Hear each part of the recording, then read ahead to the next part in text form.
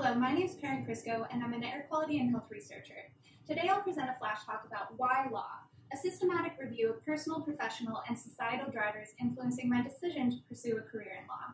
For background, these are pictures of me from 2011 when I first visited Georgetown University.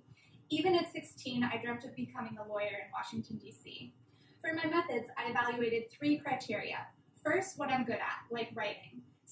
What I enjoy, like problem solving. And third, what the world needs, which I think is laws informed by health research and environmental science.